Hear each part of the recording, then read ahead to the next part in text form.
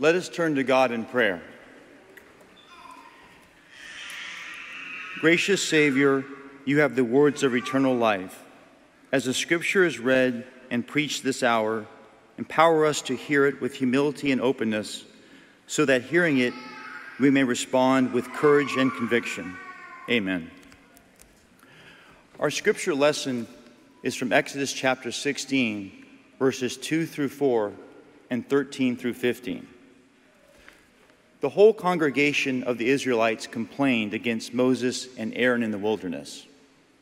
The Israelites said to them, If only we had died by the hand of the Lord in the land of Egypt, when we sat by the flesh pots and ate our fill of bread.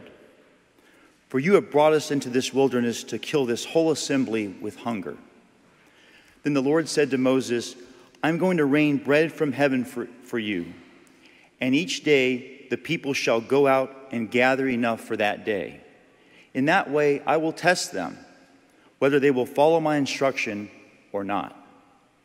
In the evening, quails came up and covered the camp, and in the morning there was a layer of dew around the camp.